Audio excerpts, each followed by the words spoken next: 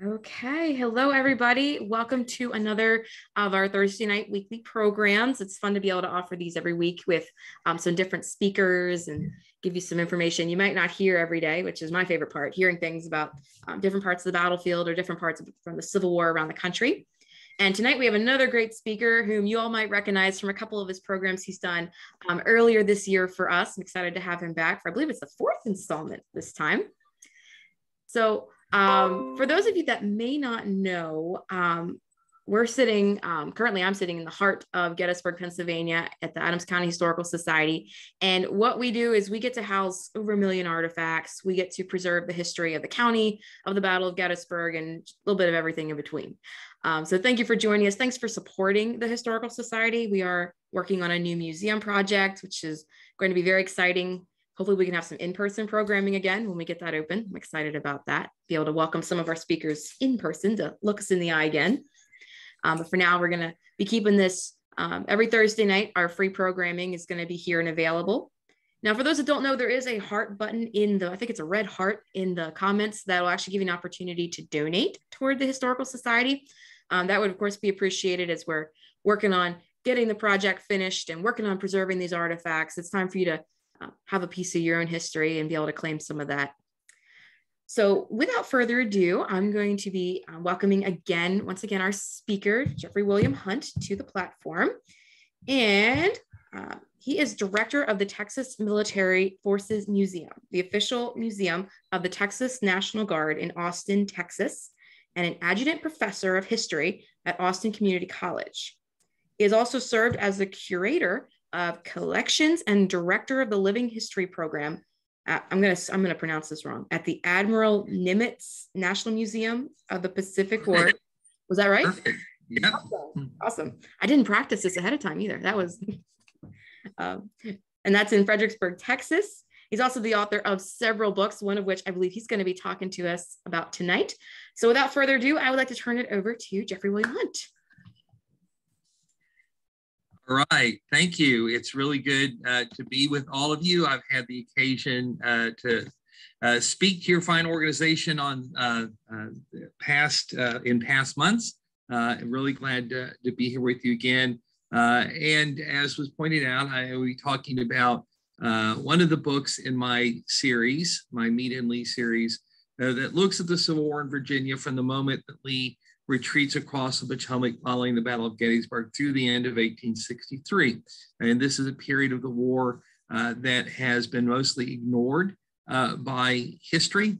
Uh, everybody sort of, you know, just sort of uh, uh, pretends as though nothing of significance happened in the Eastern Theater. Uh, in the six months following the Battle of Gettysburg. And historians like to uh, either veer off to follow the battles around uh, Chattanooga and Chickamauga or to hit the fast forward button and leap from Gettysburg uh, to the start of Grant's overland campaign, uh, ignoring what two of the most famous and important armies of the war did uh, for half a year. Uh, and this leaves uh, a lot of people with the impression that they didn't do very much, that they simply licked their wounds, recovered from Gettysburg, and waited for Grant to show up and jumpstart things in the spring of 1864. And nothing, of course, could be um, further from the truth. These two armies were very active uh, during this uh, period. Uh, and this is why I'm writing a series of books about it. Tonight, we'll be talking about the, the third book in that series, Meade and Lee at Rappahannock Station. Uh, the Rappahannock Station campaign was relatively brief, November 7th to 10th, 1863, but it is the first major offensive launched by the Army of Potomac uh, following the Battle uh, of Gettysburg. Uh, and uh, this, of course, flows in the aftermath of Robert E. Lee's Bristoe Station offensive, where he outflanked uh, the Army of the Potomac under General George Gordon Meade um, at, the beginning of October of 1863, uh, driving Meade back uh, on Centreville uh, and the outer defenses of Washington. and that campaign came to an end uh, with the Confederate um, rear guard defeat at the Battle of Bristoe Station on October 14, 1863. So Lee uh, did manage to drive uh, the Union Army back on its capital, but he failed to cut off and destroy a slice of it. And though Lee had wanted to linger close to the Potomac in the aftermath of the fight at Bristoe Station, he recognized that Richmond uh, could not supply his army that far north. Uh, Northern Virginia had been uh, literally laid waste by two years of war. Uh, there was no forage for man or beast to be found uh, above the upper Rappahannock River. Uh, and so Lee decided that he would have to pull back uh, behind that stream. Uh, and as he did so, he destroyed the Orange and Alexandria Railroad. You can see a picture of that destruction here. The Orange and Alexandria Railroad, which you see on this map, was incredibly important uh, because this was Meade's primary supply line, uh, his only supply line, in fact. So every uh, every uh, piece of, of forage, uh, all of the rations, all of the munitions, all of the other um, thousands of sundry items that the Army of the Potomac needed to stay in the field uh, came down that single uh, track line. And if Meade could not use that railroad, uh, then he could not advance. And so by destroying the railroad, Lee intended to slow any pursuit of his army as it pulled back behind the Rappahannock. and perhaps if he was lucky, repairs on that railroad would take so long that it would forestall a fall Union offensive. Uh, this, uh, of course, would turn out not to be the case. The Federals would repair the railroad within three month, uh, three weeks' time, uh, rapidly enough to uh, allow them an opportunity to launch a, a fall campaign. Uh, and by the end of October 1863, railroad repairs had basically gotten into the area of Warrenton Junction. And the Army of the Potomac was spread out between Warrenton uh, and the O&A with its cavalry deployed forward. And Lee's army had pulled back behind the upper Rappahannock River, which forms the northern and eastern boundary uh, of Culpeper County, uh, the southern boundary uh, of that county being formed by the more or less east-west running uh, Rapidan River. Uh, this is exactly the same position the two armies had occupied at the beginning of August when the Gettysburg campaign came to its conclusion. And uh, Lee now had to make a very important decision. And that decision was whether or not to stand and defend Culpeper County uh, or to pull back behind the Rapidan into Orange County as he had done in August uh, of 1863.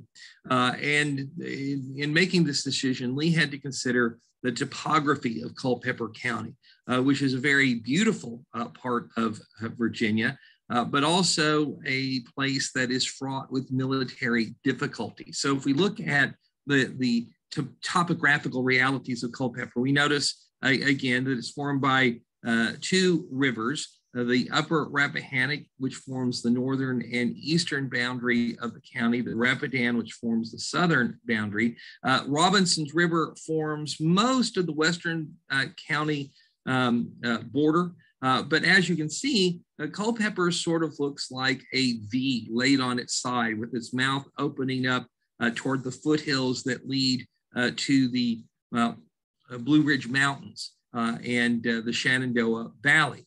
Uh, the county obviously is narrower uh, on its eastern end than on its western end, but it's not very big. If you traveled along the and Alexandria Railroad from where it crossed the upper Rappahannock at Rappahannock Station and then went down to where it crossed the Rapidan at Rapidan Station, that's only 23 miles. Uh, and so um, if an army is occupying what I call the Culpeper V. Uh, it's always going to be in a place where there is a significant river not very far into its rear. And that reality is compounded by the fact that uh, inside Culpeper, you don't really find good defensive terrain. Uh, this uh, pretty open territory, uh, undulating, uh, very gentle hills. There are a couple of very steep and tall mountains, Pony and Cedar, uh, for example, some of them rising to a thousand feet in height. Uh, but nowhere in Culpeper could you find a spot where you could really anchor both ends of a defensive line. So if an army fights a battle uh, on the defensive inside Culpeper, one or both of its flanks is always going to be vulnerable to being turned. Uh, and if an army is forced to retreat after losing a battle inside Culpeper, it's not going to go very far before it's going to have to get itself over either the Rappahannock or the Rapidan rivers. And although those rivers have lots of fords along them, they're crossed by bridges in only a couple of places, most significantly where the railroad uh, spans uh, those two streams. And these fords uh, are natural bottlenecks. They're funnels that an army has to uh, use that slow down its movement, uh, make it vulnerable to attack by a pursuing force. And of course, if you have a significant rain upstream, these uh, fords can disappear entirely very, very quickly. Uh, and so there really wasn't a good spot uh, to make a stand inside Culpeper County. And this is why Lee had declined to do so at the end of the Gettysburg campaign in August. It's why Meade had retreated out of Culpeper County rather than stand and fight uh, in October. Uh, and so when Lee pulls back after the Battle of Bristoe Station, gets his army behind the upper Rappahannock, he has to make a choice. Is he going to hold this line uh, and run the risk of defending Culpeper County, or is he going to go back behind the Rapidan? Uh, and this would be more advantageous in a way because the high ground is on the south side of the river. Uh, so if you are in Culpeper County, uh, the ground inside Culpeper is lower than the ground south of the Rapidan. And by the way, also the ground north of the Rappahannock. And this would give an attacker a lot of advantage if he's pushing south uh, because he could mass his forces out of your sight and then lunge for one of the fords along the river uh, rather unexpectedly. So there were a lot of reasons why this might not be a good place to make a stand. And as Lee pondered his options, uh, the, he really only had two. He could pull back behind the Rapidan as he had in August, um, and but the Rapidan has a lot of fords, and if Lee spread his army out to defend as many of those fords as he could, uh, he would stretch it for a length of 20 miles. That's a very thin line uh, to be held, even though all of these fords in that sector are very heavily fortified.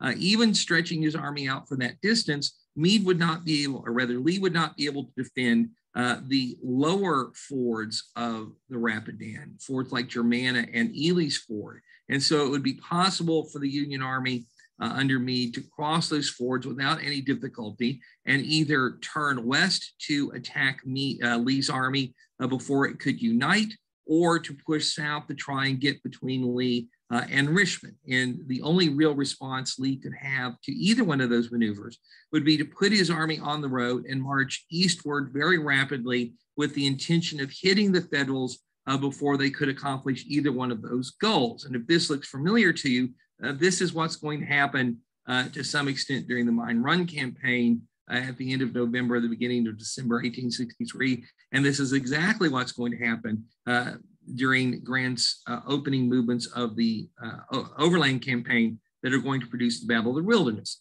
Lee did not like this option for a couple of reasons. One, it would force him to surrender all of the territory he had regained in his October offensive. And also, uh, beyond that, it also put him in a reactive state. He would have to be sitting here waiting for the Federals to make their move and then hoping that the weather and the roads were good enough for him to make the kind of rapid march that would be necessary to intercept federal columns crossing the Rapidan. And so Lee preferred a second option, which in many ways was more risky, and that was to hold Culpeper County. But how do you hold Culpeper County uh, if the enemy has the advantage of high ground on its northern bank and there's no good defensive position inside Culpeper? Now, to be sure, Culpeper has certain advantages uh, for the Confederates if they are intent on launching a strategic offensive. It's a great jumping off point to move toward the Loudoun or the Shenandoah Valley. And inside Culpeper, Lee would have something of an interior line position so that if the Federals attempted uh, to swing west, go through Madison County, and maybe angle down toward Gordonsville, uh, where the Virginia Central Railroad meets the Orange and Alexandria and, and ultimately uh, carry supplies from the Shenandoah Valley uh, to Richmond, Lee would be in an excellent position to intercept that move. But if he's going to stay here, how does he negate the advantage the Federals have because of the high ground on the north bank of the river? And what Lee decides is possible is to hold this line by establishing a bridgehead on the north bank of the Rappahannock at Rappahannock Station, where the O&A uh, used to cross the, the river. The, it doesn't anymore because the Federals had burned the, that railroad bridge during the retreat in October of 1863. But if Lee holds a bridgehead here, then he negates the topographical disadvantage of staying in Culpeper County because from this bridgehead, he could threaten to launch an offensive against the Union Army. So if Meade tries to swing west, Lee could either intercept that movement or he could attack out of his bridgehead and get the Army of Northern Virginia between Meade and Washington. Likewise, if the Federals tried to settle down toward Fredericksburg, Lee could make the same move, attacking out of the bridgehead uh, to get astride the O&A and cut off Meade's line of supply, get between him and Washington, force the Union Army turn around and attack the Confederates on ground of their choosing. If the Federals did not attempt to outflank that position, then their only other option would be to send enough troops to seal off the Confederate bridgehead. And this would be a significant part of their army required to do this and, and keep the rebels there pinned up while the other half of the Army of the Potomac crossed the upper Rappahannock lower down, probably Kelly's Ford, where North Bank positions gave them a significant advantage. But this is what Lee would want Meade to do. So if he can hold part of Meade's army, maybe even as much as half of it in front of Rappahannock Station, uh, then he would let the other half cross at Kelly's Ford, uh, come in uh, to Culpeper County just a few miles, and then me, Lee could throw the bulk of his army against this portion of Meade's that had gotten over the river and destroy it in an overwhelming counterattack. So by staying in Culpeper County, uh, courtesy of a bridgehead at Rappahannock Station, Lee would actually allow himself to go over to the offensive. He would not be completely reactive as he would be if he went down below the Rapidan. He was actually concocting a scheme that would allow him to have an offensive defensive, uh, if you prefer. and so this is the plan uh, that Lee uh, decided upon. He would keep his army here uh, between the river and Brandy Station, AP Hill's Corps uh, uh, off uh, on the left flank, uh, Richard Ewell's Corps uh, holding the river line, and he would see if Meade would be willing to divide his army in order to attack uh, the Confederates in Culpeper County. Meade, of course, can look at a map too, and he realizes that his options are pretty much the ones that Robert E. Lee uh, has, has recognized. He could make a march uh, to the west through Madison County, aiming to either strike toward Gordonsville or perhaps turn uh, toward Culpeper Courthouse and attack the Confederates uh, inside Culpeper County. But the difficulty with making this move is twofold. One, Lee would be able to intercept it very quickly and probably therefore dictate the terms of engagement. And secondly, by making this move, Meade would have to let go of the Orange and Alexandria Railroad and rely on supply wagons uh, to feed his army. And that would slow him down. Uh, his line of communication become very vulnerable to Confederate attack. And so this really wasn't a plausible act, uh, uh option. Uh, Meade could try to make a rapid march uh, from Warrenton Junction down to the lower Rappahannock at Fredericksburg, cross the river there via pontoon bridges, and get uh, onto the high ground south of Fredericksburg before Robert E. Lee uh, could intervene. If he could make this move very quickly and make it with some secrecy, uh, he might be able to carry it off. And if he got down to Fredericksburg and seized that high ground south of town, uh, then he would be able to uh, basically be on Lee's line of supply. And Lee would have to abandon the uh, upper Rappahannock and the Rapidan and retreat down uh, to uh, the South Anna or the North Anna River to get between Meade and Washington.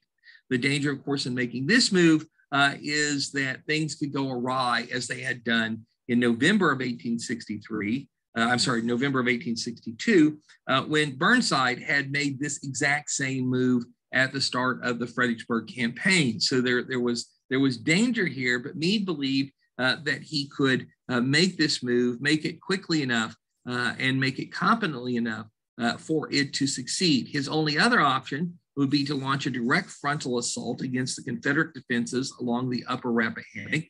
Uh, and that would entail doing exactly what Robert E. Lee wanted him to do. He would either have to uh, shield uh, and seal off the Rappahannock Station bridgehead to prevent the Confederates from attacking out of it, or strike the fortifications there, uh, which would be an operation uh, of dubious viability. It is all altogether uncertain whether the Federals could take the Confederate defenses, uh, shielding their Rappahannock Station bridgehead. Uh, so, uh, although he could attempt an attack, he would certainly have to send enough troops there to give it a chance of success. Uh, certainly send enough troops there to prevent the Confederates from attacking out of the bridgehead, which would mean uh, putting about half of his army in front of Rappahannock Station. And if the Confederate fortifications there stymie that half of the army, then the only way to get at Rappahannock Station would be to attack it from the rear, uh, which would be to cross at Kelly's Ford, where the North would have all of the topographical advantages, and then move up to strike Rappahannock Station from behind. Uh, either way, this involves dividing the Army of the Potomac and allowing half of it to walk into uh, a trap that Lee has set because Meade realizes that as soon as he gets part of his army over here, Lee would be free to concentrate most of his army uh, to attack the federal interlopers who've come over at Kelly's Ford and uh, try and destroy them before they could help the Union force at Rappahannock Station. So, looking at these options, Meade believed that the Western plan was a non starter. He didn't like the idea of the attack on uh, Rappahannock Station because it would force him to split his army and play Lee's games. What Meade wanted to do was to make this rapid march to Fredericksburg, counting on getting there and getting over the river before Lee could launch an offensive out of Rappahannock Station. Uh, and if Meade took his army uh, down to Fredericksburg, he could abandon the Orange and Alexandria as a line of supply. He's never liked the O&A uh, for his communications because it runs entirely through Confederate territory, and that territory uh, is filled with rebel guerrillas. And to keep those guerrillas from disrupting the O&A, uh, he has to spend uh, 5,000 infantry to guard the whole length of the railroad. And that, of course, reduces his combat power. Uh, and so if he shifts over to Aquia Landing, uh, then he is uh, going to have a much shorter and much easier to defend uh, railroad line of supply. Uh, only 15 miles uh, run between Aquia Landing on the Potomac River uh, and, and Fredericksburg. And so this would better position the Union Army for an advance on Richmond. And only an advance on Richmond would force Lee to stand and fight on ground that he would perhaps prefer not to defend.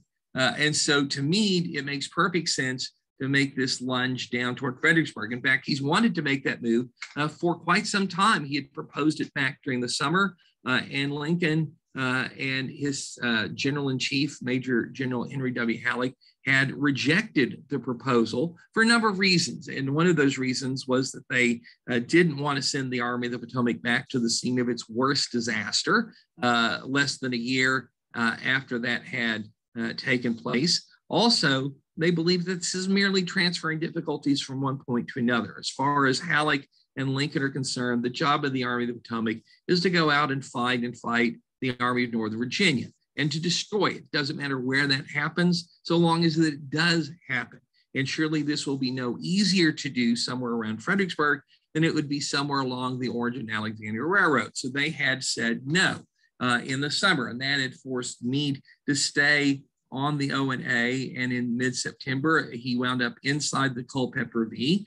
And though he warned that was a vulnerable position that Lee could easily outflank, uh, that was where he was stuck by the dictates of Washington. And then in October, Lee had launched his offensive, outflanked the Federal Army, uh, forced it to retreat out of the Culpeper V, almost back to the gates of Washington. And therefore, Meade believes that his uh, prescience has been vindicated. He, he had told his superiors this is what was likely to happen. Then that is exactly what had happened. And therefore, there had been this embarrassing retreat uh, all the way back to Washington, D.C. And now Meade believes that surely Lincoln and Halleck are going to see the logic of his proposal for a rapid shift to Fredericksburg and a change of the Army's base to Aquia Landing. Uh, in this regard, uh, Meade is wrong. Uh, so he actually prepares uh, to move toward Fredericksburg. He puts the wheels in motion, orders pontoon bridges to be made up to cross the Rappahannock at Fredericksburg. He's going to avoid the mistake that General Burnside had made in November of 1863 by not ensuring that those pontoon bridges are ready uh, when he needs them. Uh, and he sends word of his plan to General Halleck in Washington, asking only uh, that he be given prompt notice if the proposal is going to be rejected. And that prompt notice came very quickly. Uh, Lincoln and Halleck have not changed their minds about this uh, idea. They're still opposed to it. And, and, this infuriates Meade, who writes his wife a very bitter letter uh, complaining that his plan is disapproved. The, the, those uh, are his capitalizations, uh, not mine. Uh, and he's really put out. He's never really seen eye to eye with Lincoln and Halleck and Secretary of War Stanton. Uh, they have forgiven his uh, inability to destroy Lee after Gettysburg and his allowing the Confederates to retreat across the Potomac River, but they've never forgotten it. They, they do not think that Meade has the necessary aggressive instincts that will be required uh, to ultimately destroy Lee and his rebel army. And so they are adamant uh, that we are not going to have a change of base. You're not going to go to Fredericksburg. Uh, Lee's army is right in front of you. Go out and fight him where he is at. Uh, and to Meade, this not only flies in the face of military logic, it's also uh, rejecting his professional judgment. Uh, and that pains him a great deal. And he believes that if he doesn't have the confidence of his superiors, if they're not going to allow him to move and fight the army uh, as he thinks best, then perhaps they ought to find somebody else to command the Army of the Potomac. He's, he's offered to step aside on several occasions. And of course, uh, those offers have always been rejected. Uh, but one wonders how much longer uh, Meade's tenure can continue under these circumstances. Nonetheless, Meade is a good soldier, uh, and he does not let his personal uh, feelings get in the way of doing his duty. He has orders, and he's going to follow those orders. And his orders are uh, not to go to Fredericksburg, uh, but to go after Lee where he's at. And there's only one way to do that, and that is to play the game exactly the way that Robert E. Lee wants to play it. And so Meade has no choice but to divide his army for a dual attack at Kelly's Ford and Rappahannock Station. Uh, the uh, Army is sliced into two wings. Uh, the right wing will be under the command of Major General John Sedgwick. He will have his own Sixth Corps as well as Major General George Sykes' Fifth Corps, uh, about 26,000 men uh, plus supporting artillery. The left wing of the Army will be given to Major General William F. French, who will have his own third corps, uh, and the second corps under newly promoted Brig- Major General Gouverneur Warren, and the first corps under Major General John Newton, about 29,000 men uh, with supporting artillery. Sedgwick and French are the ranking major generals in the Army of the Potomac, uh, and that's why they get these, these particular jobs. And so what is Meade's plan? His plan is to move very quickly at dawn on November 7th, 1863, sending the 5th and the 6th Corps against Rappahannock Station, while the 2nd and 3rd Corps move against Kelly's Ford, and the 1st Corps goes over uh, to uh, stand in uh, reserve uh, at uh, um, Morrisville right here so that it can uh, move either to reinforce Sedgwick or French as circumstances require.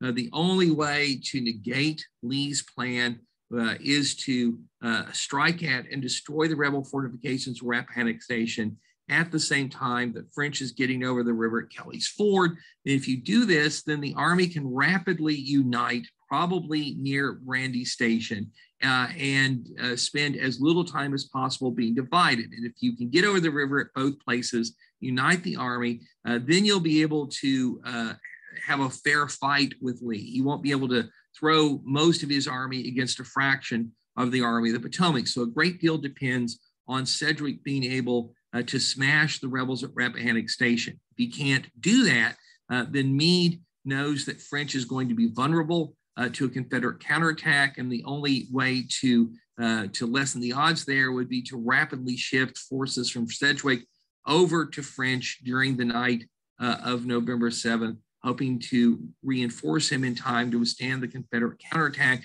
and also crossing your fingers that a weakened Sedgwick uh, will be able to pin the Confederates inside their bridgehead uh, instead of having the Confederates bust out of that through Sedgwick's thinned lines uh, to cut the Army of the Potomac off uh, from Washington. So, what Meade is doing here is not his first choice, it's his second choice.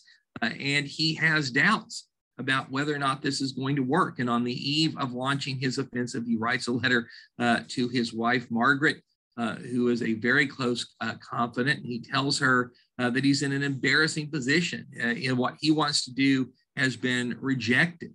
and now he has to make a movement in which he is not overly sanguine of success, but it's the only thing that he can do. If this doesn't work, he doesn't know what else he can try.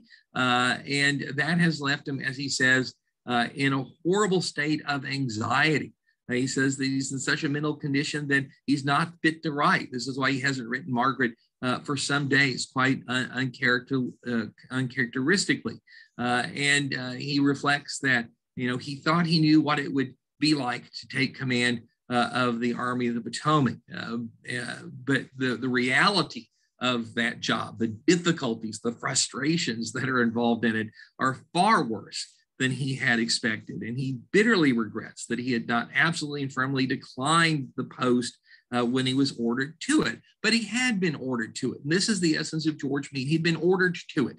And as a good soldier, his duty uh, was to obey orders. And uh, he had taken the job and he would continue in the job until he was, as he believed, inevitably uh, uh, removed from it. And as long as he is in the job, he is going to do his best, even if he knows that his best is unlikely to ever satisfy Lincoln, Halleck, or Stanton, or a good chunk of the Northern uh, press, uh, for that matter. Uh, and this is this is key to understanding George Meade. Uh, he is a dutiful soldier. And even though he is being forced into an operation that he believes is of doubtful viability, he is going to give his all to trying to make that operation work. Uh, a lot of other generals might have thrown up their hands when they were told they couldn't follow the plan that they preferred uh, and, and delayed and uh, found reasons not to uh, undertake an offensive uh, movement uh, or they could have undertaken that offensive movement so half-heartedly that they all but guaranteed that it would fail. But Meade is a much, much better man than that. And so he's going to give this all. He's going to give, be careful. Uh, he's going to lay his plans well, uh, and is going to do the best uh, that he possibly can under the circumstances, trusting to God uh, that it is all going to work out uh, for the best. And so a, a divided Army of the Potomac uh, marches early in the morning of November 7 toward the upper Rappahannock River, Sedgwick heading toward Rappahannock Station uh, with his wing, French heading toward Kelly's Ford at his wing. And Kelly's Ford uh, draws its name from the village of Kellysville, which lay nearby. This used to be uh, the biggest manufacturing center in Culpeper County before the war. There was a clothing factory there. Uh, there was a mill and all sorts of other little small businesses. The, the factory uh, equipment had all been moved away early in the war. And although the mill is still in operation, uh, its, uh, its workforce is greatly reduced. Uh, by the needs of the Confederate Army. It's sort of operating at a reduced capacity, uh, but it is here at Kellysville, and this drawing is made after the fighting on November 7th. It is here at Kellysville, the first fighting of the Rappahannock Station Offensive is going to uh, take place. Uh, this sector of the river was lightly held and for good reason. You can see these, these hills on the north bank that utterly dominate Kelly's Ford uh, and Kellysville. And uh, the Confederates knew that they could not hold this sector. There's 700 yards of open terrain uh, beyond the river. If the Federals get artillery up here, they'll utterly dominate it. And so all that the Confederates can really do here uh, is delay a Union advance. And that is all that they are planning to do. So there are fortifications at Kelly's Ford. Uh, they would be sufficient to fend off federal harassment or a minor probe, but against a major offensive, uh, they're not going to be of much utility. Uh, and as a consequence, the rebels have only one regiment uh, stationed right along the river, and that's the 2nd North Carolina. Now, that's usually under the command of Colonel William Cox, uh, but Cox is now commanding Ramseur's brigade of Rodes Division of Ewell's Corps because Stephen Dodson Ramseur has gone home to get married. So Cox has stepped up to command the brigade, and that leaves Lieutenant Colonel William Stallings in charge of the 2nd North Carolina. He's got uh, 10 companies Uh, but one of those companies is up here at Wheatley's Ford. Two others are further downstream. So he's only got seven companies for about 225 men actually located at Kelly's Ford. Uh, Brigade is about a half a mile away in its camps, uh, but closer to the river uh, is the 30th North Carolina under Lieutenant Colonel William Sillers with about 500 men, and the Fluvanna Artillery under Captain John Massie, uh, which has six 12 pounder Napoleons. So six guns instead of four, as is usually the case uh, with Confederate artillery. Uh, they're there to support Stallings, but remember the idea here is to simply delay the Federals long enough to give Rodes Division time to form line of battle uh, and to uh, put uh, Major General Edward Johnson's division of Ewell's Corps on the road to come up and reinforce Rodes. In other words, the Confederates here have a well formulated plan for how to deal with a federal crossing at Kelly's Ford. Delay long enough to allow a line of battle to be formed, let the Federals cross here, basically walk into the trap. And once they get a couple miles away from the river, uh, they're going to run into Rodes, they're going to run into Johnson, they're going to hold them in place until Lee can bring over the bulk of his army uh, to launch a counterattack uh, against whatever portion of Meade's has walked into this cul-de-sac. Uh, so there's not supposed to be a prolonged and determined defense of the ford. Uh, this is a holding action. It's a holding action. And it's a holding action uh, that is, of course, ultimately doomed to, uh, to fail because the Federals uh, are well aware of the topographical advantages they have at Kelly's Ford. And so the first thing they do as they advance their infantry on the ford is to put artillery up here on the high ground overlooking the river. Uh, the uh, famous uh, war correspondent and artist Alfred Waud from Harper's Weekly is on hand uh, to watch the fighting at Kelly's Ford. And this is a drawing he made of the federal guns on that high ground, uh, firing down on the rebels. And you can see the advantage that they have here. So here's Kellysville right there. Uh, this is that 700 yards of open ground. These woods here are the camp the 30th North Carolina and the Fluvanna artillery. And there's a little earthwork here that the Confederate artillery had built, uh, was unmanned when the battle starts, uh, but the Fluvanna artillery is going to come out and occupy it. But for the Federals, this is like shooting fish in a barrel. They completely dominate uh, the position. Uh, and so this battle is kind of a foregone conclusion. Uh, Colonel Stallings uh, puts his men into the earthworks. They manage to stymie the Federal infantry as it comes down on the river. The Federal infantry is led by the 1st and 2nd U.S. sharpshooters who form a skirmish line along the river. Uh, and uh, they force the Federals to ground. The Yankees bring up their artillery. They begin to pound the position. And at that point, the Fluvanna artillery comes out and takes up uh, its post in these earthworks. Uh, but the Federals move a third battery into place, and now it's 18 Yankee guns against six. And the Fluvanna artillery, after firing only about 10 rounds per tube, uh, is forced to withdraw from the field. Uh, Colonel Sillers, very gallantly but somewhat foolishly decides to try and reinforce Stallings at the ford. And he tries to move his 500 man strong regiment at the double quick from the woods across 700 yards of open ground uh, down to Kellysville. A Union artillery, course, takes them under fire. It's a very long uh, space to uh, jog. Uh, and the, the ground is not uniformly smooth. So the regiment begins to break up uh, due to the terrain and obstacles like fences in its path. And by the time it gets down into Kellysville, it's pretty much demoralized. And a lot of its men tumble into cellars uh, and uh, into buildings to take cover uh, rather than join the battle. And so, so little support is Stallings getting uh, from the 30th that he tells Sillers, yeah, your men are contributing nothing but casualties. Get them out of here. And Sillers, uh, frustrated from failing to be able to rally his troops, agrees, and he leads most of his regiment back uh, into the woods, uh, making that long, difficult run a second time under artillery fire. Now, about 180 men from the 30th North Carolina refused to retreat, and they, they continue to shelter in the buildings of, of Kellysville.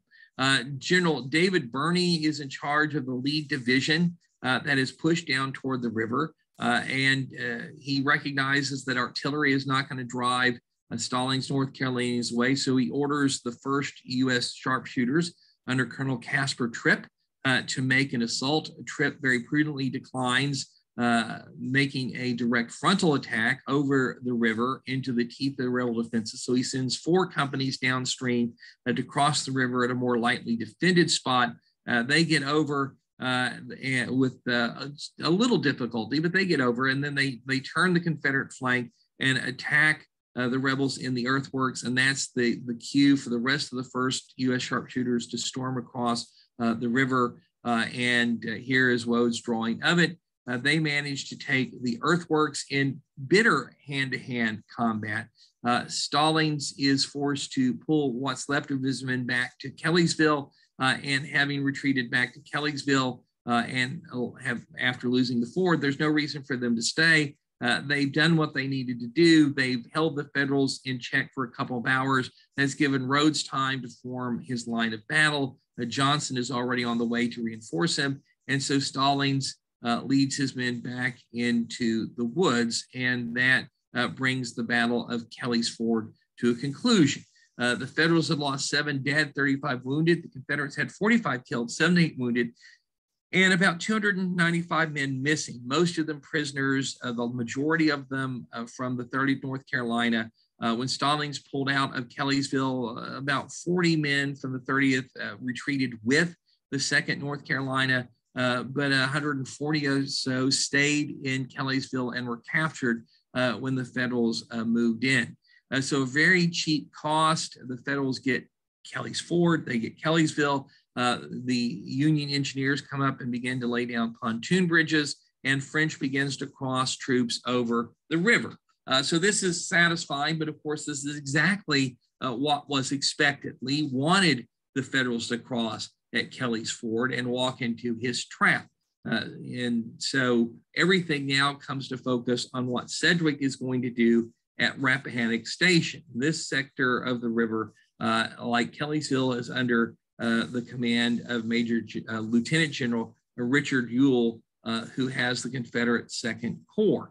Uh, Rappahannock Station, remember, matters because this is where the Orange and Alexandria Railroad crosses the river.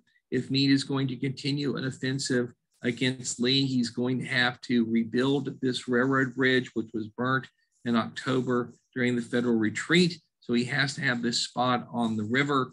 Uh, and the Confederates, of course, are here because they are occupying high ground right next to the railroad on the north bank of the river. So this is where their uh, bridgehead is. Uh, here's a look at the area. These pictures are taken uh, in August of 1862. So there's the railroad bridge, and we're looking at it from the south bank uh, toward the north bank. Notice how open the ground is here east of the railroad. Uh, and this is Rappahannock Station uh, itself. All of these buildings have been burned uh, by November of 1863. None of these structures still exist at the time of the November battle. So it is the sixth and the fifth corps that are coming up against Rappahannock Station, uh, while French has moved down to attack Kelly's Ford. And with Sedgwick in command of the right wing of the Army of the Potomac, that means that the Sixth Corps is now led by Major General Horatio Wright, uh, who has relatively limited combat experience. He commanded a division at the Battle of Secessionville in 1862. And other than that, he's not really seen any action. You know, he was not with the Army of the Potomac during uh, the Gettysburg campaign. The Fifth Corps, of course, is under the command of Major General George Sykes, who had assumed that job uh, at the end of June 1863 when Meade was elevated from Fifth Corps command uh, to the job of running the Army of the Potomac. Uh, facing the right wing of the Union Army is a single Confederate brigade the way that Ewell had this uh, worked out, uh, he kept a brigade inside uh, of the bridgehead for a week at a time, and uh, brigades from each of his divisions rotated in and out of that spot. So just the day before, the famous Stonewall Brigade of Johnson's division had marched out of the Rappahannock Station bridgehead, and the equally famous Louisiana Tigers uh, of Rodes' division, or rather of Early's division, had marched into it. Uh, the Louisiana Tigers are under the command of Brigadier General Harry Hays, a highly competent officer, uh, but Hays is away on court martial duty at the start of November 7th. So his senior Colonel Davidson Penn of the 7th Louisiana is in charge. And fortunately for the Confederates, Penn is as equally competent as Hayes. Uh, there are only about 900 of Louisiana Tigers, though, after uh, Gettysburg in the 5th, 6th, 7th, 8th, and 9th Louisiana. And on the morning of November 7th, most of them are deployed well forward of the fortifications at Rappahannock Station. The 7th and 8th Louisiana and the 6th Louisiana are uh, anywhere from uh, about uh, 800 yards to half a mile in front of the river. And they're deployed for observation. They're out here uh, looking uh, toward the north uh, watching for any federal movement. There is a little smattering of Confederate cavalry vedettes here, uh, but no major Confederate cavalry force. Most of Stuart's troopers uh, are either spread out down toward Fredericksburg, uh, guarding against that shift uh, to the lower Rappahannock that Meade wants to make, or they're clustered around Brandy Station. Uh, because the Confederates are having great difficulty getting forage up to other animals. Uh, they need to keep the horses and mules as close to the railroad as they can to facilitate feeding them as frequently as they can. Uh, so the Confederate infantry is doing the job of the cavalry here. 7th and 8th Louisiana, 6th are out in front. The 5th Louisiana is holding entrenchments on the south bank of the river. And that means that only the 9th Louisiana and uh, the Louisiana Guard artillery are actually in the fortifications. Uh, so 900 Confederates, and here comes 26,000 federal troops. And the, the leading edge of them shows up at noon on November 7th. Penn instantly sends word back uh, that a whole lot of Yankees have suddenly uh, appeared in his front. And understanding that his little brigade is not going to be able to do anything to stop those Federals, he pulls the 7th, 8th, and 6th Louisiana back into his fortifications. He brings the 5th Louisiana over the river uh, in addition. Uh, and he's only a skirmish line out there for observation. So he concentrates his forces. Uh, word rapidly goes back to Early, to Ewell, and to Lee that the Federals uh, have appeared in front of Rappahannock Station. And the Confederates are taken by surprise by uh, Meade's sudden movement. One of Lee's best spies had been caught uh, at the beginning of November. And so, courtesy of the high ground on the north bank of the river, the Federals have managed to make this move and catch the Confederates unawares. But the rebels respond very quickly. And they're aided by that fact that as Sedgwick comes up against Rappahannock Station, uh, he has in his pocket an order from Meade that tells him that he is to seal off the bridgehead, strike it, try and destroy it and get south of the river, if practicable, uh, as quickly as he can. But he's also got from Meade a very uh, detailed description of the Confederate fortifications around Rappahannock Station, a warning uh, that they may not be susceptible to assault, and a caution to guard against a Confederate counteroffensive erupting from Rappahannock Station.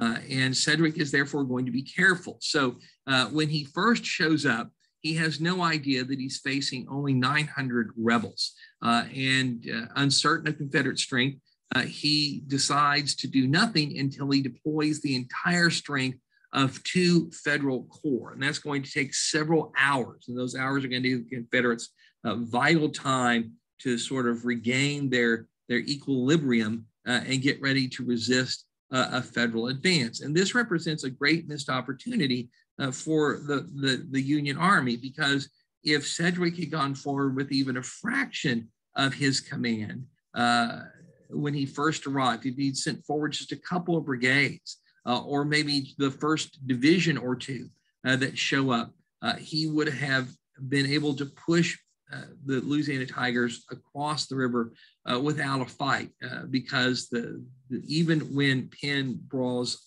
all of his men uh, into the fortifications. He does not have enough troops to, demand man the whole line. In fact, the center of his line is held simply by skirmishers. Uh, and if the Yankees were to come at him, uh, retreat is his only option.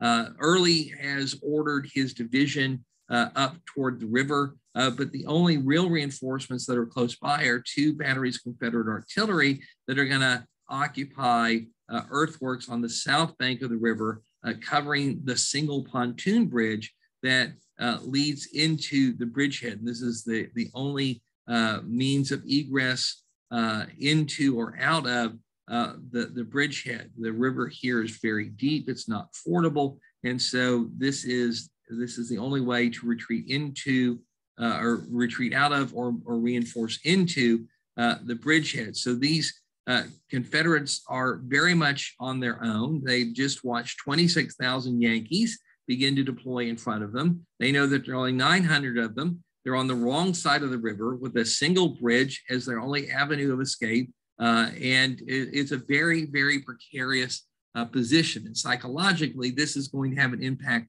on the Confederate defenders that we need uh, to keep in mind.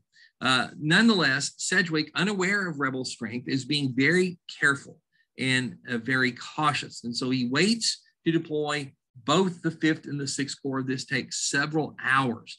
Uh, and so it's not until 3 in the afternoon uh, that he's going to be ready uh, to move at the Confederates. And even then, his first advance is made with uh, minimal force. So he's going to send forward skirmishers all along the line. Uh, their job is going to be to seal off the Confederate bridgehead. To support those skirmishers, he will advance a division on both sides of the railroad. And on the uh, west side of the railroad, that division will come from the Sixth Corps, uh, and it will be under the command of Brigadier General Albion Howe. On the east side of the railroad, there will be a division uh, under the command of Major General uh, Bartlett. And that's going to come forward in a column of divisions. This is a formation that the Federals are going to use throughout the fight. So each regiment uh, formed two companies across five lines of two companies each. So it's sort of like a human battering ram. This is the front.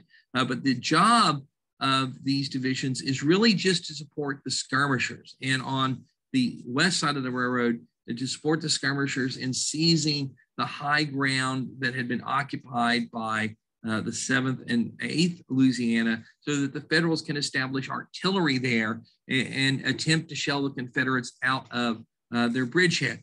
Uh, so at 3 p.m., uh, Sedgwick makes his initial advance. The Confederate skirmishers fire and pull back into the bridgehead. The Union skirmishers advance uh, until they can seal off uh, the bridgehead. The 5th Vermont is detailed to swing over uh, and grab Beverly Ford and then move down the river against the Confederate right flank. Uh, Howe's division moves forward far enough to allow it to gain control of this ridge on which Sedgwick intends to put artillery. But Bartlett's division, uh, as soon as the uh, Fifth Corps skirmishers reach the river, uh, veers off uh, and takes cover on this high wooded ridge uh, or up against the railroad embankment. So this is another missed opportunity uh, for the Federals because if these two divisions had simply kept coming, uh, once again, Penn would have had no choice but to abandon the bridgehead and retreat across uh, the pontoons uh, into uh, the, the south bank of the Rappahannock River. And this, of course, would have facilitated George Meade's plans a great deal because everything was focused on getting over the river at Rappahannock Station uh, at the same time or close to the same time that French had gotten over the river at, at Kelly's Ford. So uh, Sedgwick has thrown away uh, two opportunities uh, to uh, complete his mission uh, without a fight uh, and to do so very rapidly. But once again, he doesn't know what he's up against and he's being careful. He's as worried about a Confederate counterattack as he is about launching uh, his own offensive. So now the Federals are uh, looking at the Confederate defenses at Rappahannock Station, and we should spend some time uh, considering what it is they see. Uh, this is a drawing from August of 1862 by Edward Forbes because there have been fighting here uh, at the start of what would become the Second Manassas Campaign. And this drawing is made from about the same uh, ridge uh, on which uh, the Confederate skirmishers of the 7th and 8th Louisiana had been posted, the ridge just taken by Howe's division, uh, and the position from which Union artillery is going to begin to shell the Confederate earthworks. So uh, over here is the ridge occupied by the Confederate fortifications. These two hills here are where the Confederate guns south of the river have just gone into battery. This is the Rappahannock here. And this line right here is the Orange and Alexandria Railroad. Now, remember, the Confederates have torn up the railroad. There are no tracks on the line anymore, but the embankment uh, along which the railroad had been built is still there. Uh, these buildings belong to uh, what most people call Rappahannock Station. Uh, is actually the village of Bowensville, uh, which is where the, the Rappahannock Station uh, is going to eventually come into existence. all of these buildings have been burned. They, they no longer exist. the buildings up here on the ridge occupied by the Confederates have been burned too. Uh, and in their place now, the Confederates have a two gun, a fully enclosed earthen fort anchoring their right and looking down onto uh, the railroad embankment. Then their fortifications are going to run 300 yards to another large redoubt that's in the center of their line. And then the Confederate line is going to snake back, uh, curving uh, as it does so uh, back toward a bend in the Rappahannock River uh, about 200 yards uh, in front of the Confederate position. This is a pretty gentle slope, actually, uh, is the Freeman's Ford Road that runs from Freeman's Ford off to the west, all the way ultimately six miles to Kellyville off to the east. And this portion of the Freeman's Ford Road, which you see right there, is actually slightly sunken. Uh, so it's sort of a natural man made trench. So this is what the topography looks like uh, to the Federals. And there's about uh, 800 yards separating the Confederate fortifications from this ridge uh, that uh, we are standing on looking south toward the Confederate line. Uh, what exactly do the Confederate fortifications look like? This is vital to understanding the battle uh, that's about to take place. Interestingly, no map was made for the official record uh, by either Union or Confederate officers who, who took part in this fight. Uh, and so we have lots of verbal descriptions, but no actual map of the battle. Fortunately, in my uh, research into this fight, I found two maps that were drawn by participants in the battle shortly after it was over, and they tell us a great deal uh, about the Confederate uh, positions and the approaches to it. Uh, the two maps differ in some respects. Neither has a scale uh, but it gives us a, a, lot of vital information. So here's one that shows there's the Orange and Alexandria Railroad. Uh, there is the ridge that the Confederates are defending. There's your one pontoon bridge that uh, is the connectivity between the Confederates on the north and the south bank. Here's a little stream called Tin Pot Run that runs on the northern edge of the ridge that Sedgwick uh, has just seized for his artillery. Uh, courses under the railroad and then bends back to flow into uh, the Rappahannock River. Uh, you'll notice that there is an outer Confederate work on the east side of the railroad. This is usually forgotten uh, in modern maps of the battle. It's about 160 yards long. Uh, and it is defended right now by the 6th Louisiana Infantry. It has about 186 men, and it stretches from the railroad embankment, which right here is about 10 feet tall uh, to uh, allow the railroad to go over this low land toward the bridge uh, when the river is flooding. Uh, and it bends back to conform to the path of Tin Pot Run. So its flank is sort of refused.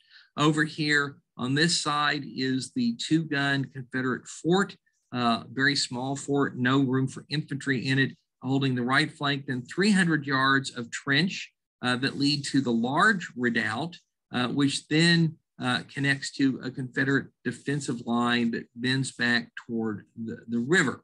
Uh, this map over here, uh, drawn by a member of the 50th New York Engineers, gives us a little bit more uh, detail. So he shows that the railroad curves a little bit as it comes down to the river. There are your two Confederate, sorry, there are your two Confederate forts on the south shore. There, your small fort, your 300 yard trench, your large fort, uh, and then you can see that the Confederate line, line actually zigzags. It doesn't make a nice, smooth, semicircular curve back toward the river. No military man would build a line like that uh, because it would not allow you to concentrate your fire against an attacker. So you dig these zigzags to allow crossfire.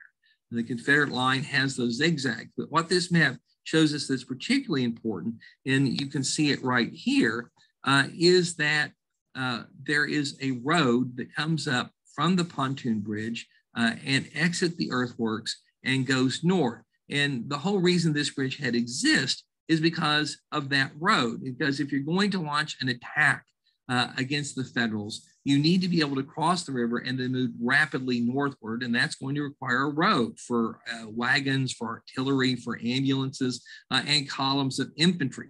And so you can't build a solid embankment across that road. You would render it useless. So uh, the Confederate line actually in two places is gapped to allow roads to pass through it. Uh, and to defend those gaps, the Confederates have built two small outer works uh, to cover uh, the gaps in the main line. If you've ever had to drive onto a secure installation, you got to zigzag through those barriers uh, to get up to a security checkpoint, you sort of recognize uh, what's going on here. Uh, and this is really the most vulnerable part of the Confederate line. It's right there in the center, very close to the open back large redoubt in which the Confederates have two guns in the same way that they have two guns over here uh, in this small uh, fort. Uh, and the Confederate line uh, is also strengthened by the nature of the trench uh, between uh, the small and the large fort.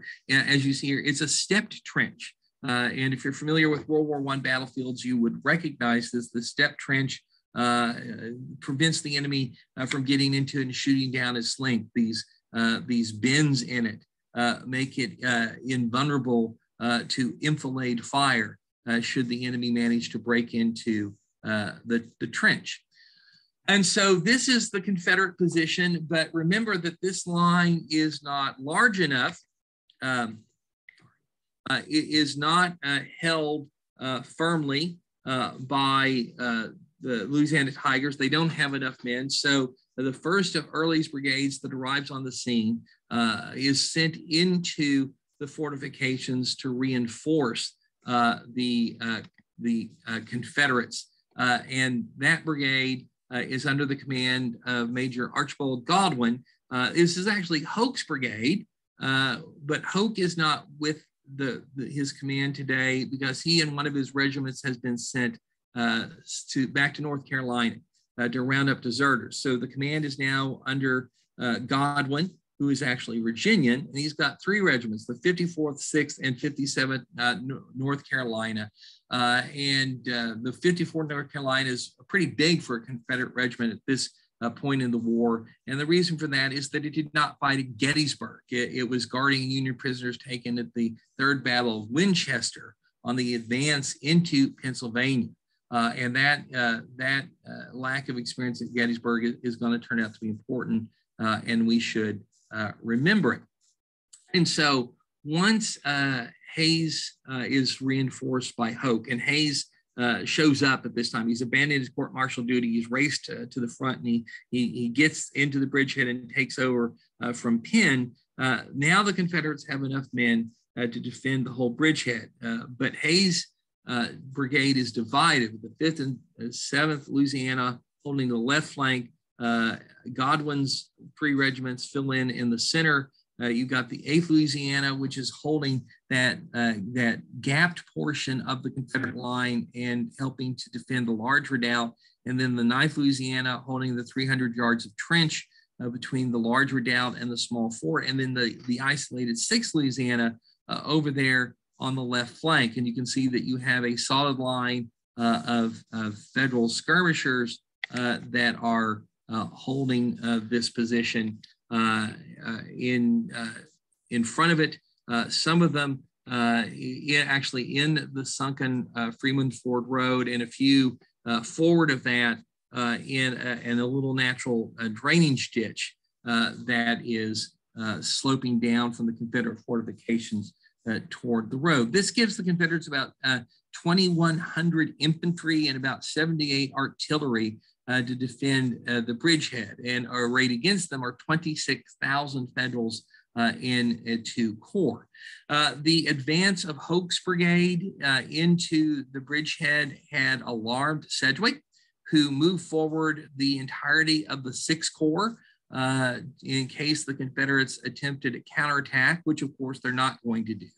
Uh, the, the Federals are therefore able to put uh, three batteries of artillery uh, on top of the ridge, just vacated by Confederate skirmishers.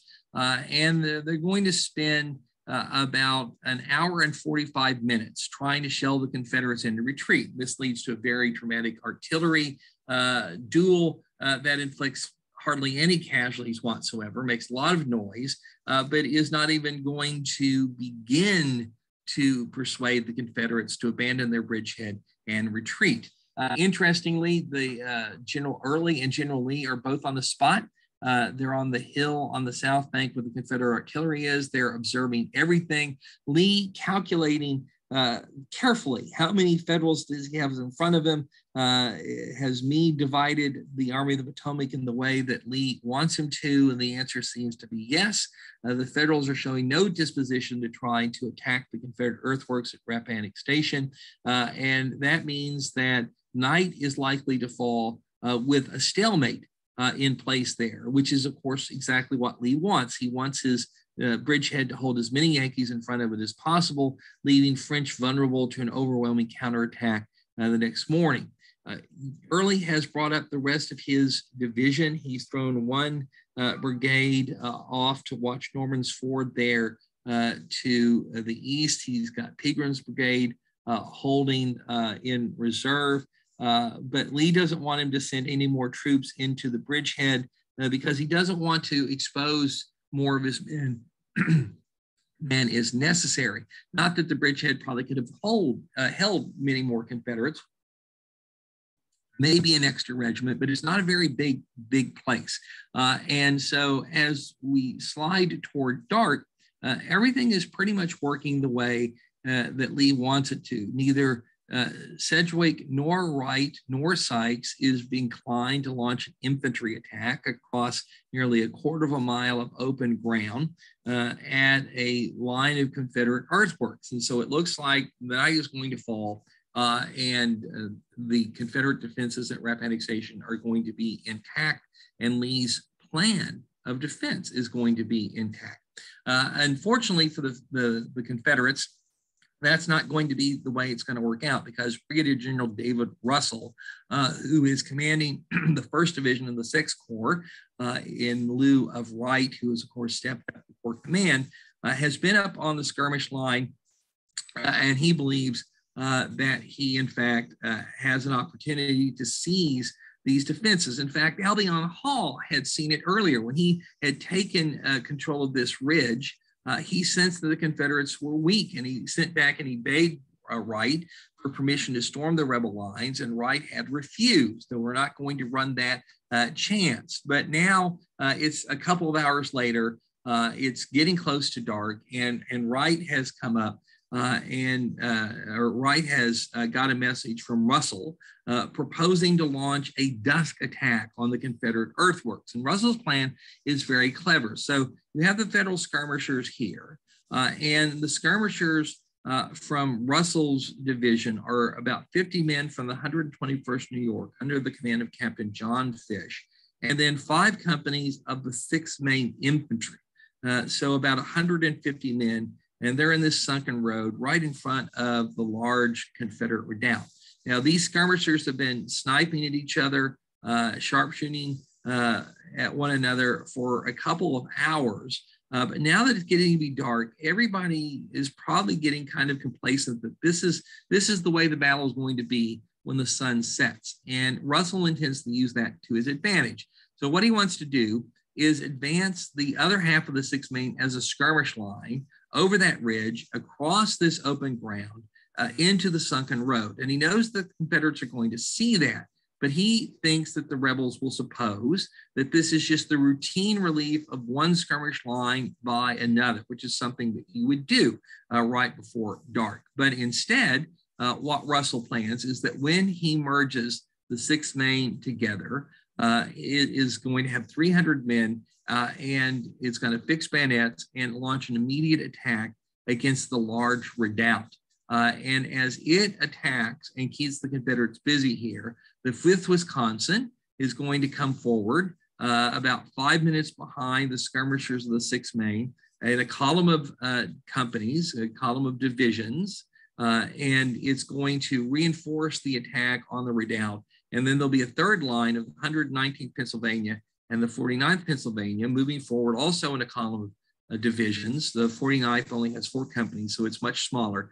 Uh, and they're going to slam into the same position. They're going to take the large redoubt uh, and then take the pontoon bridge, and that's going to trap all the Confederates north of the river uh, and ought to lead to the bridgehead's destruction. Uh, why Russell is only using a single brigade when he's got a division is a question that's never answered. Uh, it probably results from the fact that uh, he believes the Confederate defenses are much more lightly held uh, than they, they really are. Uh, the fact that this attack will be made uh, right at dusk uh, is, is key because it's going to prevent the Confederates from seeing the relatively small force and the narrow front that is being used against them.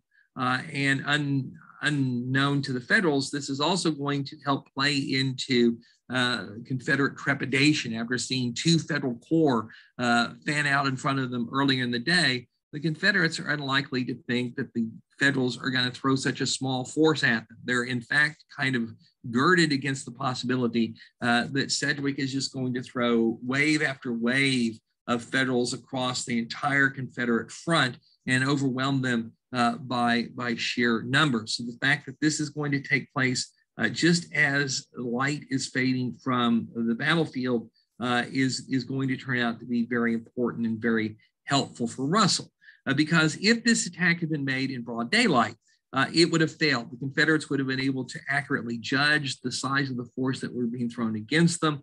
Uh, they would have probably shot this uh, attack apart and driven it back. But coming out of the gathering darkness, the federal offensive is going to have an impact uh, out of all proportion to the numbers that are engaged.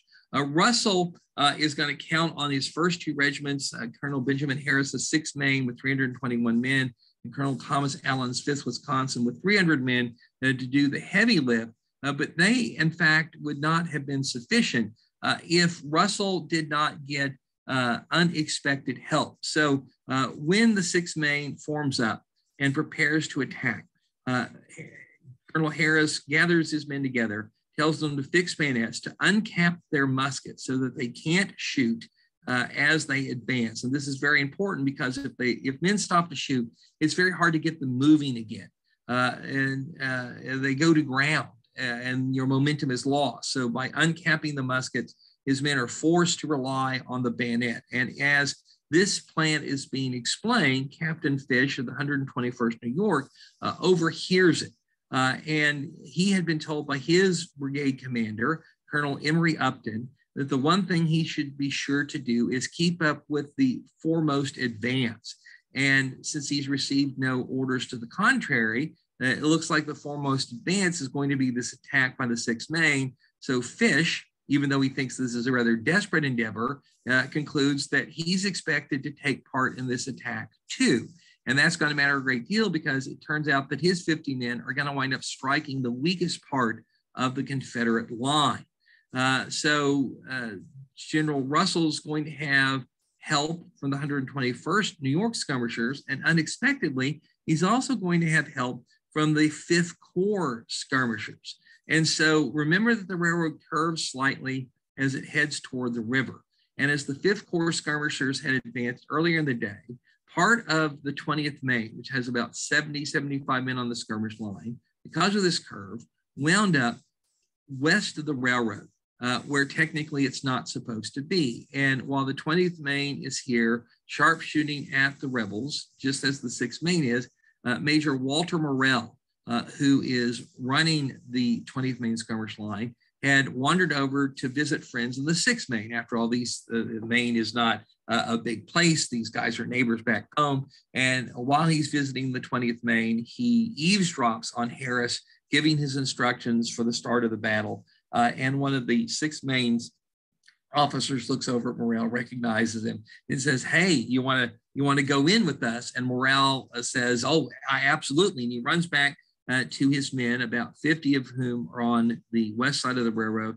And he says, boys, the 6th Maine's going to go in. Let's go in with them. So an extra 100 men here are going to be part of this uh, first federal attack.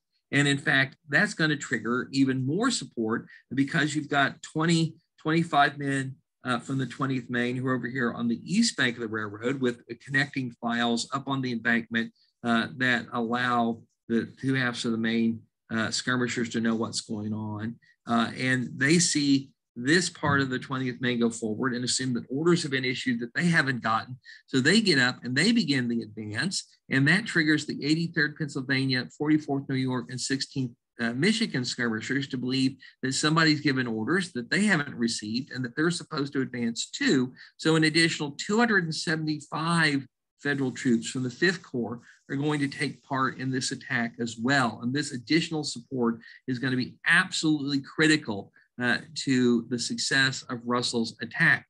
Uh, and so, basically, what happens is that uh, as the Federals uh, on the east side of the railroad move forward, uh, coming in from the gathering darkness. Uh, there are 275 of them, approaching 186 men uh, in the 6th Louisiana. Their commander, Colonel Monaghan, believes uh, that there surely isn't just a Union skirmish line coming at them. He had watched a whole federal division advance in his direction early in the afternoon, just inexplicably uh, halt uh, instead of continuing its advance. Well, now that division must be coming forward again. And there's no way 186 rebels completely cut off from the rest of Hays and Hoke's brigades by this steep hill and this tall railroad embankment are going to be able to stop them. So Monaghan orders his men to move by their left flank, which gathers them together uh, here at the railroad embankment, and then to retreat across the river, uh, where the stone pylons of the burnt railroad bridge are very much in evidence and where the river is just barely fordable. And about half of the 6th Louisiana manages to get over the river before the federal skirmishers get up here on the riverbank and begin to fire into their rear. Uh, the, some of the Confederates are shot in the back and fall into the river where they're going to drown. Uh, the federal skirmishers, as they're reloading, realize that they're not really uh, keen on shooting men in the back, and they begin to yell at uh, about 75 or so Confederates who are still trying to get across the river to turn around and come back and surrender. These men uh, turn around and uh, begin to follow those instructions, at which point one of their officers steps out from behind one of the bridge abutments, wielding a pistol and a saber, and orders them no, turn around, head back toward the south bank. And these poor Confederates uh, proceed to follow those orders, at which point the Yankees start to shoot at them again and most of the rebels are forced to hide behind the, the uh, stone pylons uh, until they can convince the Federals to accept their surrender. So about half of the 6th Louisiana manages to escape. The other half uh, is captured, and the whole right flank of the Confederate line uh, is destroyed in the opening moments of the battle. These federal skirmishers have also managed to, uh, to drive the gun crew away from one of the two Confederate cannon in the small fort, which is going to weaken uh, its defense. Uh, this uh, scene, by the way, is drawn by Edwin Forbes, who's there with the Fifth Corps observes the battle from the east side of the railroad. So this is an on-the-field sketch of the fight as it actually uh, played out. On the west side of the railroad, the 6th Maine uh, advances at the double quick out of its sunken road and, along with the 121st New York and charges the Confederate fortifications. Unfortunately for the Federals, Hays and Hoke's men had taken part in the Twilight Assault on Cemetery Hill on July 2nd, 1863 at Gettysburg. You know, so if there are any troops in the Confederate Army who are familiar with the danger of a twilight attack, it is these men. And so they are not taken by surprise. In fact, they pour a couple of very deadly volleys into the 6th Maine, uh, which uh, goes to ground on the forward slope in front of the large redoubt. Although a few Federals managed to get up and into the, the Confederate fort, most of the 6th Maine uh, takes cover. Uh, its officers shot down, including Colonel Harris, who's taken a bad wound in the leg and is out of action. A lot of the Federals are crying out uh, that they surrender, and it looks like this assault has failed uh, completely. Uh, the 5th Wisconsin is supposed to be coming up to rapidly reinforce uh, the 6th Maine, but it has been delayed because Colonel Allen had sent it forward uh, with unloaded muskets. His men did not like that and complained loudly about it began to load without orders. So he halted them and allowed them to load. But this threw his regiment five minutes behind schedule. And so it's late in getting up here to support the 6th Maine. Now, the 6th Maine, driven to ground, uh, has a bunch of men calling out to surrender, but others saying, no, no, attack. And so some of them get up and they surge once more into the works, uh, but are driven out of them. And there's this nasty little fight going on along the edge of the parapet uh, when the 5th Wisconsin belatedly gets to the field and half of it swings up uh, to, uh, to the east uh, to uh, join the 20th Maine skirmishers who are attacking the 300 yards of trench uh, and the small fort right here. They come in and join that attack while the other half of the regiment joins the attack on the large redoubt. Uh, and a vicious hand-to-hand fight breaks out here. Fortunately for the Federals, Captain Fish and his 50 men had struck the weakest part of the Confederate line. And because these parapets are very uh, short uh, and the trenches behind them are very narrow. Fish and his men were able to jump onto them uh, and point the weapons down at Confederate troops who could not really aim well uh, uh at, at, their assailants. Uh, and Fish and his men ordered the Confederates to surrender, and about 127 men of the 8th Louisiana give up. Uh, to 50 Federals. Those prisoners are hustled off to the rear, and this breaches the Confederate line, forces the 6th and the 57th North Carolina to refuse the flank to try and protect the other end of the bridgehead. Uh, but this is going to prevent the Confederates from reinforcing the 8th Louisiana, uh, which is now in a very nasty hand-to-hand combat, uh, trying to hold the large uh, redoubt. And ultimately, they failed. The 9th Louisiana is forced back. The 8th Louisiana is forced back. The Confederate guns are captured. Uh, and uh, just at the moment when uh, the the uh, Federals need it most. The 119th and 49th Pennsylvania arrive uh, to secure uh, the breach in the line. And now the entire uh, eastern half of the Confederate bridgehead west of the railroad has been lost. The remnants of the 8th and 9th Louisiana are kind of a mob down here. It's now almost completely dark.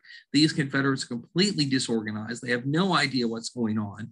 And that's why three Yankee privates who run down here uh, in, in a burst of enthusiasm and fire their guns up into the air and demand a Confederate surrender are able to capture 170 rebels uh, who throw down their arms and are rapidly marched off uh, to uh, the rear. And this, uh, this surrender happens because remember, the Confederate defenders are aware that they've got two entire federal corps out in front of them. And they can't imagine that the Federals are attacking them with such minimal force. There are, in fact, fewer attackers than there are defenders uh, on the evening of November 7th. But in the Confederate mind, this is just the leading edge of wave after wave after wave of Union troops that are going to be hurled against them. Uh, and knowing that they're not going to stop that kind of an overwhelming assault, there's a single bridge that would allow them to escape. The Confederate uh, will to fight uh, is, is mortally damaged here. Nonetheless, the Confederates had put up quite the battle uh, to hold this part of the line, and General Russell, who's been wounded in the foot, uh, realizes belatedly that he's bitten off more than he can chew. The Confederates here are much stronger than he had supposed. So he sends word back uh, to uh, Emory Upton to send forward two regiments to reinforce the fight on the large uh, redoubt. Uh, Upton leads them forward personally, the 5th Maine, 121st New York. Uh, but by the time he nears the, the front line, uh, the redoubt has been taken, and Russell intercepts him and he says, What I need to do now is to uh, knock out the Confederates who are enfilading my line from a salient uh, over to the west. And so Russell deploys from a column of division in a line of battle uh, puts his men in this drainage ditch, and then orders a attack against the Confederate defenders, which are the 54th North Carolina, the one Confederate regiment in the bridgehead that had not fought at Gettysburg, had not taken part in that dusk assault on uh, Cemetery Hill and are therefore most discombobulated uh, by a night attack. The 54th has also spread itself out thinly, trying to occupy part of the trench abandoned by the 6th and 57th North Carolina when they refused the flank following Captain Fish's breach of the Confederate line uh, where the road pierced uh, the rebel earthworks. And so uh, the Federals uh, are attacking upslope. It's dark. The 54th North Carolina fires at them, but shoots a little too high. So only a dozen or so of Upton's men are hit. And the Federals uh, strike the rebel line in full force. And after a brief hand to hand combat, capture uh, half of the regiment, its colors, and its commanding officer. And so now the breach in the rebel line has been widened. Uh, and Upton, having gotten this part of the line, looks off to his right, sees that the Confederates are very disorganized over here, and he realizes that there's an opportunity to exploit uh, the, the success that he's just enjoyed. Uh, and so he, is going to prepare to uh, renew his assault, uh, even absent orders from Russell. Alfred Waud, by the way, uh, drew uh, a picture of Upton Strike on the 54th North Carolina. Uh, Waud remembers at Kelly's Ford, so he's not there to witness the battle. Uh, and so his drawing here in terms of the combat is very fanciful, but he did draw uh, the, the Confederate earthworks. And so you can see again the zigzag nature of them.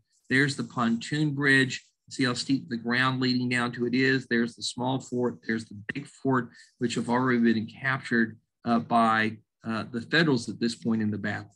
And so uh, Upton's determined that he's going to renew his attack.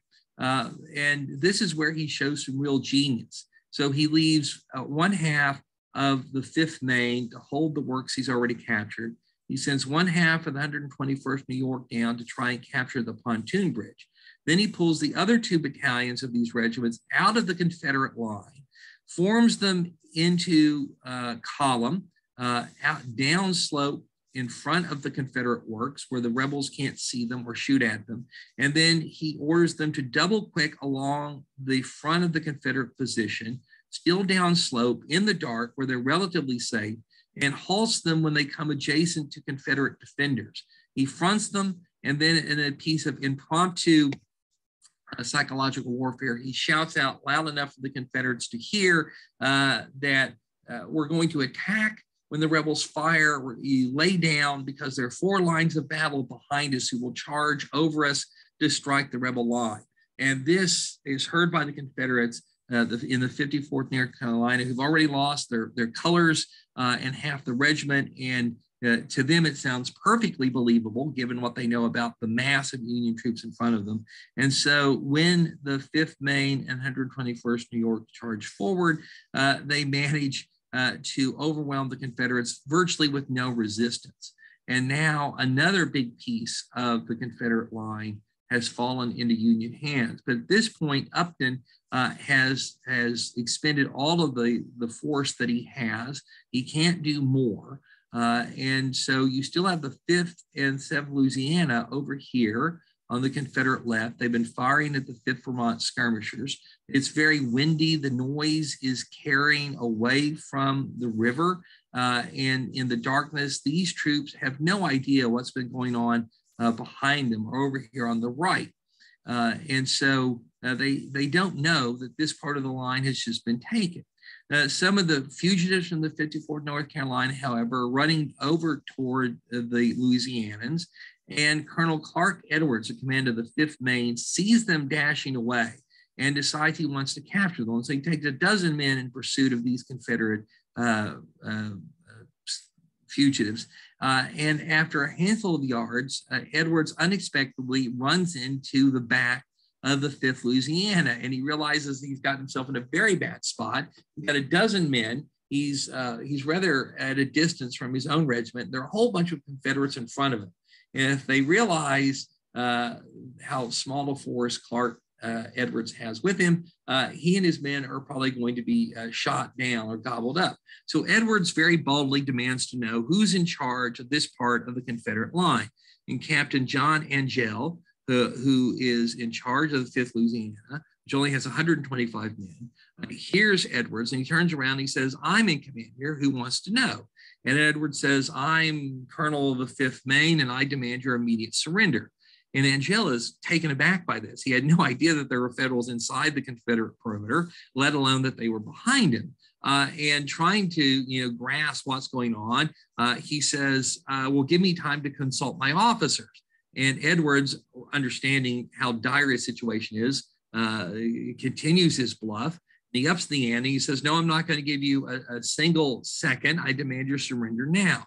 And Angell still hesitates. And at that point, Edwards throws his arm behind him and points to this moving mass of men in the darkness, which can barely be seen. And Edwards says, Those are my men, and they're coming forward against you. And if you don't surrender right now, I'm going to order them to attack. Well, in fact, there were no federal troops moving up behind Edwards. These were Confederate prisoners that were being herded together and shuffled out of the line. Uh, but Angell can't tell who's wearing what uniforms and what's going on in the darkness uh, behind Edwards. And so, realizing that his men are pointing in the wrong direction, that if these Federals do in fact come at them, uh, they're going to be able to gun his soldiers down, uh, shoot them in the back. Uh, Angell agrees to surrender. Uh, and when he gives up, then the 7th Louisiana uh, has no choice but to surrender too. And so Edwards has managed to bluff two Confederate regiments into uh, laying down their arms. This leaves only the 6th and 57th North Carolina still fighting.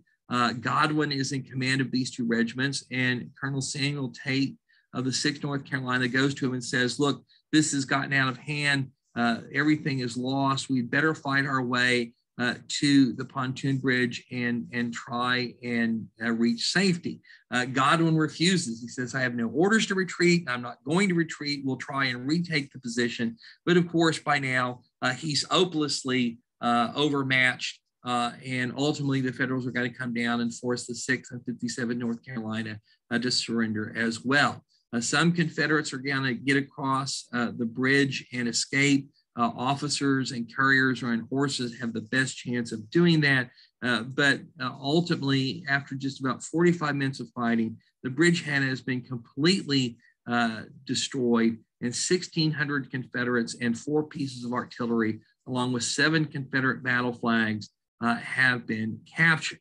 Unfortunately, for Meade, uh, this this success has come too late. it's dark uh, and by the time that Meade understands what has happened at Rappahannock Station, it's 10 o'clock.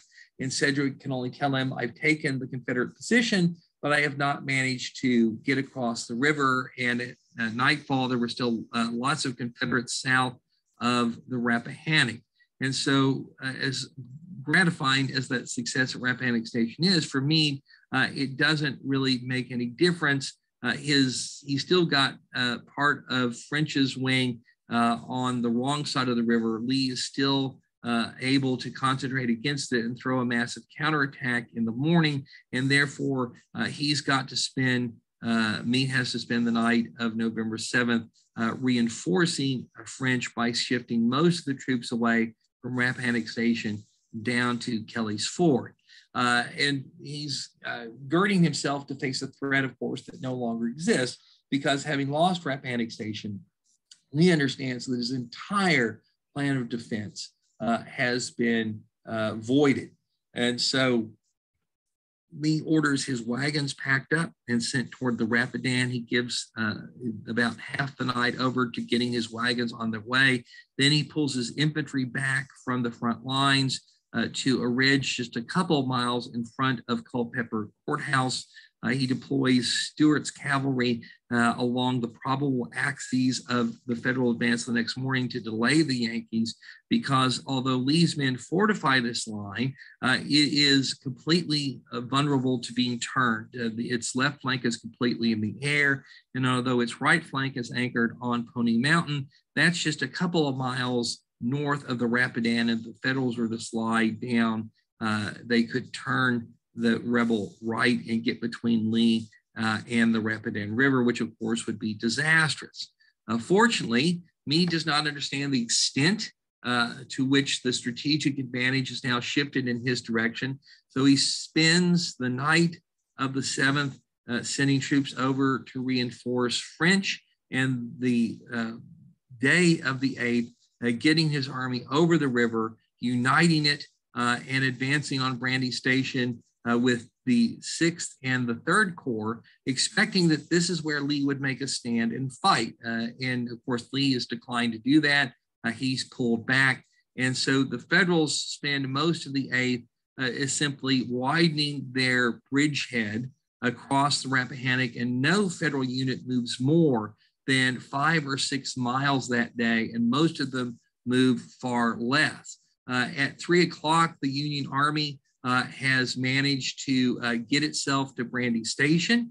Uh, over here on the left flank, uh, John Buford's division of cavalry is marching down from Rixeyville toward the Confederate left flank, but it runs into a brigade of North Carolinians under Brigadier General Lane, who, who give it a bloody nose and stop its advance. Uh, and at three o'clock in the afternoon, the Meade, who has interrogated Confederate prisoners who claimed that Lee's army had retreated the night before across the Rapidan, uh, Meade accepts those stories, uh, although it's hard to understand why, uh, and he puts his army into camp uh, with a couple of hours of daylight left and the Confederate army only three miles away. If Meade had kept moving, he would have found Lee in position. And although he wouldn't have had enough daylight to make a serious attack on Lee's line, he could have at least uh, ensnared the Confederates in the beginning of a battle that would have either required them to, to stand and fight on incredibly bad ground uh, the next day or uh, to make a rapid retreat to the Rapidan and leave a substantial rear guard behind that Meade could have thrown the whole Army of the Potomac against and probably destroyed. But Meade had gambled uh, by launching this attack at Rappahannock Station, Kelly's Ford. Uh, he had not been sure uh, his gambit would succeed, uh, so he has in fact accomplished far more than he thought. And having played for limited stakes, he's willing to stop his army uh, at Brandy Station and leave Lee well enough alone, which of course is going to allow Lee to retreat across the Rapidan that night and uh, back into his old earthworks uh, from August and uh, September, so that by the middle of November, the armies are basically in the same place that they had been in September of 1863 and where they had been at the start of the uh, Bristoe Station campaign. So it has been a successful uh, offensive uh, for Meade. Uh, the cost not too bad 96 dead, 409 wounded, 11 missing, most of those in, in Russell's division, uh, which suffered uh, considerably in the attack at Rappahannock Station. The Confederates overall 21 dead, 181 wounded, 1,939 missing, 1,600 of those from Hoke's and Hays brigades. Uh, which had been defending the bridgehead. So tactically, it was a great Union victory. It got a lot of plaudits in the rest of the army and the press, but strategically, it accomplished far less than it might have done had Sedgwick taken advantage of the several opportunities he had to uh, flatten the Confederate bridgehead earlier in the day. Uh, and if Meade had realized uh, how much the situation had shifted in his favor, uh, after the loss of the bridgehead, and he had moved, therefore, more aggressively uh, on uh, the morning of November 8th. Uh, nonetheless, uh, it is a successful offensive campaign. Lincoln was delighted to see Meade showing this kind of aggressiveness, telegraphed a hearty well done to the general. but now that Meade has managed to leap the upper Rappahannock, he's shown that he can attack uh, successfully that he can overcome Confederate earthworks. This just raises the bar uh, for the Army of the Potomac, which is now expected to continue the offensive. Uh, and that is going to set the stage for the upcoming Mine Run campaign, which will begin at the end of November and continue on into the first days of December 1863.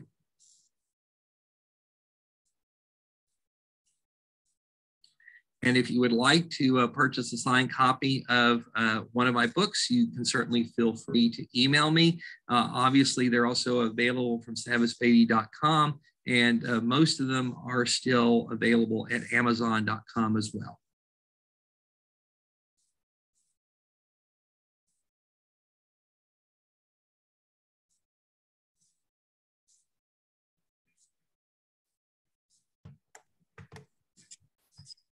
Wow, that was really, really great. Um, I learned a lot about that that campaign there, and it's really cool because a lot of times in 1863 they get really over, overshadowed with Gettysburg and Vicksburg. So it's so neat that you've taken on an interest with some of those campaigns uh, more toward the end of the year. Um, and thank you so much for sharing your uh, your expertise with us. I'm sure the chat is full of comments, so I'm um, sure that you'll be welcome to jump on there and see if you can get some some questions answered for these folks. Sure. And thank you to everyone who watched tonight. Um, thank you for supporting the Historical Society. You um, are helping us to keep the programs um, every week. We have them every Thursday night. And thank you for those that donated. Uh, that, of course, is going to help us out a long way. Um, just I hope you all have a wonderful rest of your evening, and we'll see you next week for another Thursday night program. Jeffrey, thank you again so very much. My pleasure. Good to be with you again.